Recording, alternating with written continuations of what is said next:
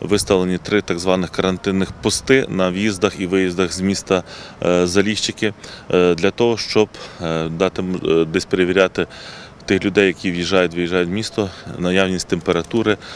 Це приблизно виглядає таким чином, що два поліцейських мають автомобіль з собою, мають можливість вимірювати температуру.